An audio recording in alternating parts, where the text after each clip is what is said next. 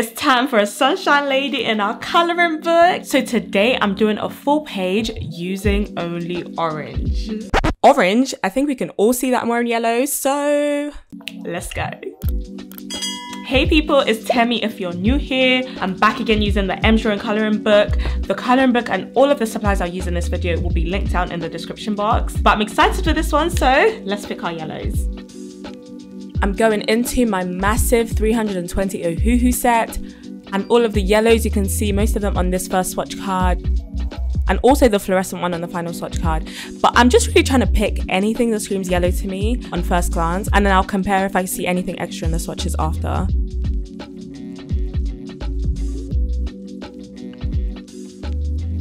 And here are all of the yellows that we'll be playing with today. What a beautiful selection. Doesn't yellow just give you joy? I'm gonna put them in these pots and let's pick our lady. I'm using the M's Drawing Flower Girls colouring book as usual and here is our lady from last time. It was a full page using only pink. I'm going to name her Rosalind Sakura. Thank you so much for your suggestions and let's find an illustration for today. I'm going straight onto the thumbnail page and I've just decided after seeing the orange and the pink here together, it might be nice to include all of the monochromatic pieces I do on this one page. So on this first thumbnail page, you can see when I just did a freestyle one and then I used all 320 markers. But I think back to this page, it would be really nice to have like the blue one in the corner, a green one, a, a purple one, you know, all of the colors on the thumbnail page like this. So I'm feeling this bottom middle one. I think it's really giving a sunshine vibe, even like her cute dimples. I can see some flowers that could be sunflowers in the background. I think this will be so cute. So I'm going back to the thumbnail page to play around with some ideas. The first thing I'm going to do is to put a piece of cartolina on. You might recognize our pink lady, Rosalind, because of the print. But if I don't protect the next page, that is how everything will just print onto the next page. So going straight on with the colouring, I always start with the face and it's interesting because this is exactly what I do when I do normal realistic portraits as well. I think when the face looks good and snatched, everything else can come together. So I've settled on this kind of bright yellow color, but I really want to add shadows to add some contours to her face. I want like a medium to dark skin tone for her, but obviously monochromatic, you know? I've added this dark yellow that's even given off brown and it looks way, way, way, way, way too dark. The thing about markers is when it's wet, it looks really dark and then it kind of dries lighter. So for the real thing, I need to be careful, maybe choose a more in-between color. But moving on to the hair, I really want to do like golden puffs with like some shadows. This marker, a mess. Why is it just giving me puddles? I don't know. But I think that's the marker I will use for the leaves. It's the darkest color that I have. And it would just help with the overall contrast of the piece so that it doesn't look too one dimensional. And now for the flowers. The flowers, you know, I just wanted to complement the piece. Yellow is such a bright, happy color, but I want a good balance of light enough flowers, but also a little bit of depth.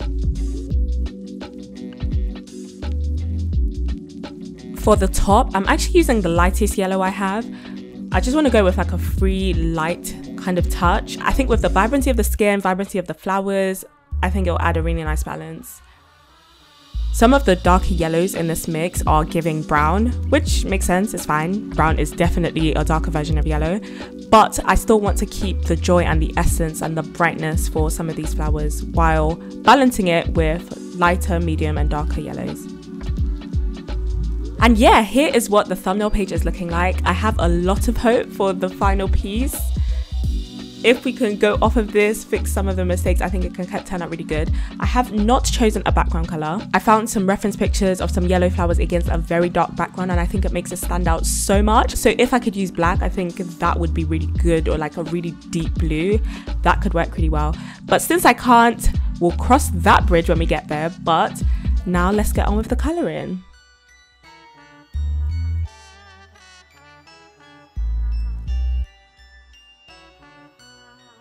And once again, I'm starting with the face. I bet if I do a compilation of all of my coloring book videos, I start with that exact first stroke.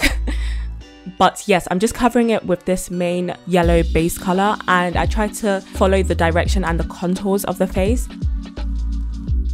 The markers dry pretty even generally, but just to avoid patchiness and when I start to add deeper and deeper colors, I just want to keep the overall shape of the face. I think the first kind of contour color works really well, but the funny thing about markers is it always looks darker than it actually is, especially because I'm coloring this on a white background. So it just permanently looks like I'm going too dark. And up until I add the hair, which will be like one of the darkest points in the piece, you kind of have to foresee it in context, if that makes sense. But I'm just adding the lips going for, you know, this nude lip gloss kind of moment. We can add the shine later and also giving her small, small dimples.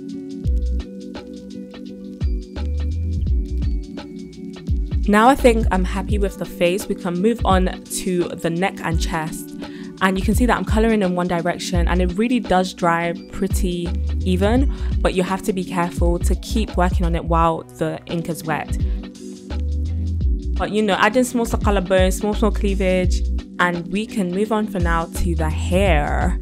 So I've started with this initial color because I did mention that I wanted like blonde kind of curls. B blonde curly afro puffs is hard to do, period. But then doing it with markers, a mess, a mess.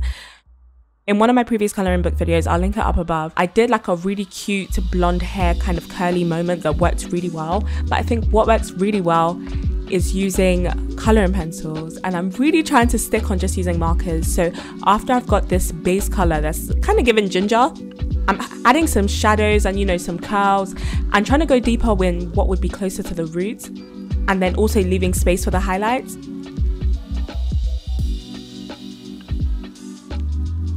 But now I've realized that if I'm going deeper with the roots, I should also go deeper with the actual cornrows, right? I don't know. At this point, I'm just piling and piling and piling, and I think it's time for coloring pencils to save me.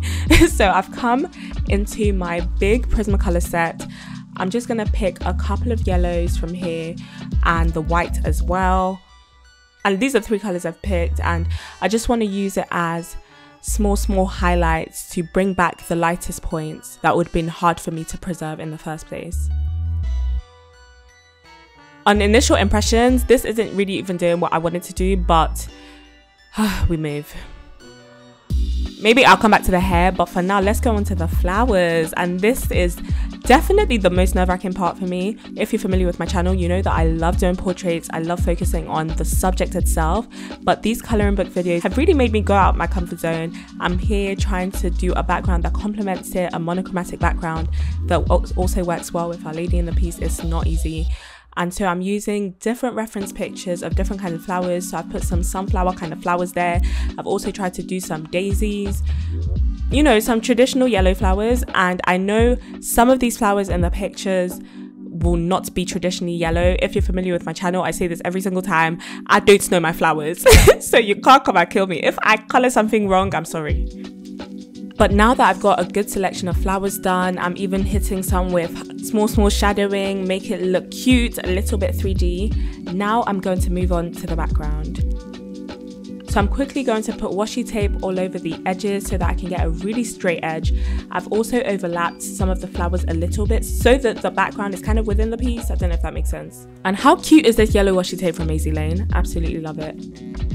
So for the background color, I want to use one of the lightest colors. So on first impressions, I'm going to go for this one. But after I'm applying it and after the ink is drying, it's giving a little dull. So now I think I'm going to try the lemon yellow chiffon. And in comparison, this is the primrose, which is a little bit dull, and this is the lemon yellow chiffon. And I definitely appreciate the brightness that's coming from the second one. So that's what I'm going to use for the rest of the background. For the bits I've already covered in the first color is definitely not that deep. But see how much brighter this looks. I really hope you can tell properly on camera but it's still giving a light covering, just a more vibrant one, which is definitely more of the vibe that I'm going for. And the reason why I've decided to do this background at this juncture is because I don't want the flowers in the background to end up looking too samey. I need some lighter flowers. I need some that will more or less be left white, like the daisies. So I really need a background covering to help me balance that so that I don't end up going too, too, too dark with some of these flowers and I just have a nice range of values. And after my background is done, to help with the contrast, to help make sure everything is balanced, to make sure my eyes are seeing the right things, I'm just using the second darkest color. So having all these dots of brown all around will really help to balance the whole piece.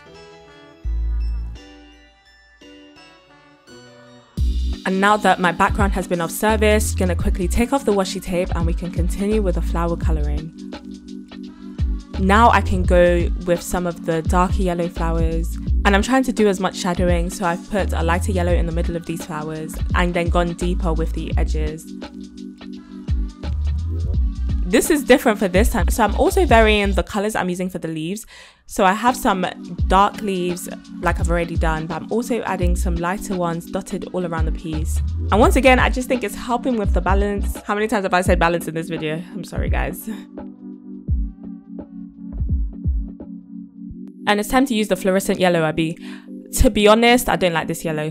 I don't like it at all. And normally I try to include the fluorescent colors of all of these, but it's just not really giving today. Now for these big flowers. Me, I don't know the names of these flowers. I'm so sorry. But I wanted to do like an ombre kind of effect. So starting with the lighter yellow towards the roots, then adding a slightly darker yellow, and then this mistake. Don't know what shade this is, but it's not the right shade. So I'm trying to save it and go in higher with the other ones, but maybe I can save it with the other flowers. For this one, I think it's a much better effect. It's more of the effect that I was going for, where it just kind of looks deeper in the roots, but then just this cute yellow ombre. The fact that I achieved this with just a few markers is very impressive. I'm very proud of myself with these flowers because for the life of me, for time, I did not know what to do with them. But I just love how cute it turned out. And we're not even at the white pen stage yet. So just imagine how with the white tips highlighted, just, just wait, wait on it, wait on it. And now is such a good time for final details. I'm using one of the lightest yellows to do small, small detail inside the daisies because I can't just leave it white. But obviously I can't use a grey.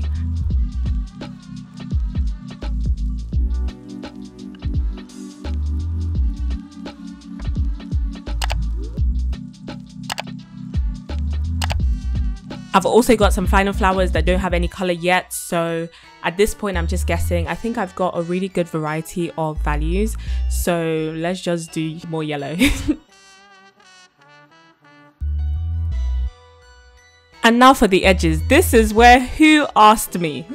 I think normally I'm quite good with edges in real life and in these coloring books, but I don't know what happened today. Firstly, I think Ems really did a lot with these edges, but then for me to now use a darker color, it like overemphasizes it in not necessarily a good way. Anyway, we can all ignore the edges, please but really it's just a stage of final touches. I'm using the deepest color I have. You might remember from earlier, but it's the one that leaked when I was doing the thumbnail page. I'm using the chisel tip side just to go deeper, deeper, deeper. Let's, let's really get the shadowing going. And now it's white pen time. It's my absolute favorite time of all time using a Sakura Jelly Roll. Obviously, I have to start with the lips because lip gloss, lip gloss, drawing glossy, glossy, glossy, glossy, glossy, glossy lips it's my absolute love. So I had to start with that and look how beautiful. Like, guys, I can't even fathom. I think it just makes the piece come together so much. I also made her necklace white, did small, small brows back to the shadowing for a bit, but honestly, the white pen, I'm sure you can see why it's my favorite part. It's just the sharpest, sharpest highlights. And for a lot of these flowers, they don't really need the white pen, but just see how much it makes it pop completely.